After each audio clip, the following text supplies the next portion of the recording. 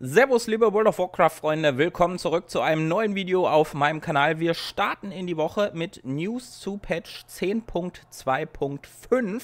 Und zwar hat Blizzard ein neues Entwickler-Update für den PTR rausgehauen mit einigen Änderungen. Und die wollen wir uns jetzt in diesem Video mal anschauen. Ähm, es gibt ein paar Änderungen. Liebe Grüße an Schütte der mich gerade entdeckt hat. Servus, du bist jetzt Teil dieses Videos. Willkommen, willkommen. Ähm, es gibt ein paar Änderungen, wie gesagt, hauptsächlich klassenbezogen. Da kommen wir aber auch noch drauf. Das Wichtigste eigentlich vorweg betrifft das Drachenreiten. Dafür brauchen wir auch gar nicht in die äh, Notes gucken, denn wie ihr seht, Hochlanddrache Fluggeschwindigkeit um bis zu 830% erhöht. Mit Patch 10.2.5 wird das Drachenreiten ja auch auf den alten Kontinenten verfügbar gemacht. Also überall, wo ihr fliegen könnt, kann man dann auch Drachenreiten benutzen. Allerdings hatte Blizzard da schon gesagt, dass die Geschwindigkeit auf den alten Kontinenten ein bisschen reduziert wird. Also ihr habt dann in den östlichen Königreichen und Kalimdor in Anführungszeichen ursprünglich geplant nur 80% der Geschwindigkeit zur Verfügung und das wurde jetzt in den neuesten Notes angepasst. Das sehen wir hier oben. Um, Dragon Riding Mount Speed outside of the Dragon Isles increased to 85% of their maximum speeds. Also sie haben die Geschwindigkeit nochmal um 5% erhöht, heißt 85% der Geschwindigkeit des Drachenreitens sind dann auf den alten Kontinenten verfügbar. Das entspricht immer noch einer Geschwindigkeit von rund 705% im Maximum. Und wenn wir das vergleichen mit dem normalen Mount Speed, da kommen wir halt auf maximal 310%. Also Drachenreiten ist in der Spitze, wohlgemerkt, diese Geschwindigkeit hat man ja nicht immer drauf, weiterhin mehr als doppelt so schnell wie das normale Fliegen. Also das nur mal als kleiner Hintergrund. Dann, was wir ebenfalls haben, ähm, was sie hinzugefügt haben, many Night Elves are now starting to arrive in Belameth and Belana Harbor.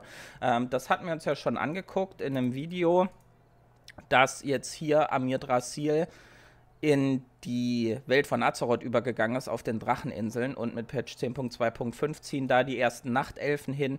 Erwartet noch nicht zu viel, es ist jetzt noch nicht riesig, aber es sieht so aus, als werden da ähm, immer, immer mehr Nachtelfen hinkommen und da haben sie jetzt noch mehr eingefügt mit dem Patch. Dann die Azerothian Achieves. Ähm, war ja ein neues Feature, da gibt es jetzt ein neues Szenario, welches man testen kann. The Big Dick Traitors Rest. Was es damit auf sich hat, weiß ich noch nicht. Aber nächste Woche könnte ich, oder diese Woche könnte ich mal Zeit haben, auf dem PTR zu gucken. Dann äh, können wir uns das einfach mal reinziehen, würde ich sagen. Dann gibt es einige Anpassungen hier für Mage, Monk, Mönch, Krieger, Schurke.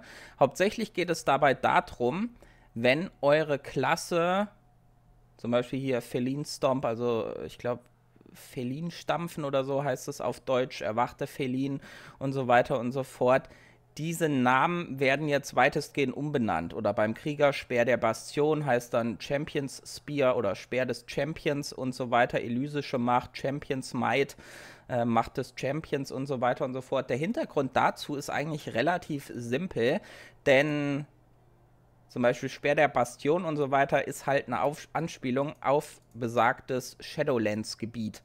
Also das war die Fähigkeit, wenn ihr euch als Krieger ähm, den Kirianern angeschlossen habt. Wer damals nicht gespielt habt, ihr konntet euch für einen vier, der vier Pakte entscheiden in den Gebieten. Ähm, Necrolords in Maldraxus, Kirianer in Bastion, ähm, Nachtfee in Adenwald und die Ventir in Revendreth. Und die Namen haben jetzt halt teilweise noch Anspielungen auf eben jene Völker, wie halt Speer der Bastion und so weiter und so fort. Oder dieses Felinstampfen spricht halt die Fey an aus Shadowlands. Und da hat Blizzard schon gesagt, die werden jetzt optisch überarbeitet, das war schon drin. Und jetzt gab es halt für viele Fähigkeiten neue Namen dazu, einfach um die Fähigkeiten ein bisschen allgemeiner zu halten und nicht so diesen Bezug zu den Schattenlanden herzustellen. Finde ich tatsächlich, ist mir ehrlich gesagt eigentlich egal. Ähm, aber vielleicht, wobei macht sich da ein neuer Spieler Gedanken drüber? Ich weiß nicht. Könnt ihr mir ja mal in die Kommentare schreiben, was ihr davon haltet zu dieser ganzen Geschichte. Ähm, dann sehen wir noch einige PvP-Änderungen. Beispielsweise beim Enhancer Shami gibt es ein paar kleine Nerfs. Ähm, oder ein Nerf über dieses Talent Torims Invocation. bzw. Anpassungen. Für den Furorkrieger gab es auch eine Anpassung und dann noch zum Schluss Interface-Optionen neue und die betreffen den Handelsposten. Das finde ich tatsächlich ganz interessant. Und zwar, wenn ihr das kann man jetzt noch nicht zeigen, weil es halt nicht aktiv ist. Aber manchmal hatten wir ja so Sachen wie beispielsweise dieses Mediv Transmog Set, welches es auch erst im Shop zu holen gab. Nehmen wir jetzt einfach mal dieses, äh, dieses Set als Beispiel. Das steht ja auch dran hier oben links, ähm, dass es irgendwann in den Shop kommen wird, also in den Handelsposten-Shop. Und bei dem Mediv-Set hat Blizzard das auch so gemacht. Es war erst zu kaufen und später dann im Handelsposten. Allerdings nicht als komplettes Set, sondern man konnte sich die Sachen einzeln holen. Gut möglich, dass sie das dann hier auch machen. Zum Beispiel in der einen Woche oder im einen Monat könnt ihr euch Brust, Kopf, Beine holen, im nächsten Monat dann Füße und Umhang oder so. Und da zeigt Blizzard jetzt, gibt es eine neue Interface-Option wodurch ihr die Möglichkeit habt, dass Items, die zusammengehören optisch, aber einzeln angeboten werden, jetzt besser im Interface des Handelspostens zu sehen sind. Das finde ich ist eine ganz gute Sache, denn zum Beispiel bei dem Mediv-Ding waren die verstreut, weil unterschiedliche Kosten und so weiter. Und da hat man es vielleicht nicht gesehen, hat vergessen, ein Item zu kaufen, whatever. Und so ist es einfach nochmal eine Ecke übersichtlicher. Ja, das waren die Änderungen, die wir bisher hatten. Ich bin sehr gespannt. Ähm, ich denke mal, diesen Monat werden wir nicht mehr so viel zu 10.2.5 erfahren, einfach weil Weihnachten und so weiter, da ist bei Blizzard ja tendenziell auch immer ruhiger. Aber spätestens im Januar dürfte die ganze Geschichte dann ordentlich an Fahrt aufnehmen und ich bin sehr gespannt, was der Patch uns dann zu bieten hat. Damit danke an euch fürs Zusehen. Bis zum nächsten Video. Sehr gerne übrigens ein Abo dalassen, wenn ihr mich unterstützen wollt und damit bis zum nächsten Video. Habt eine gute Zeit und reingehauen.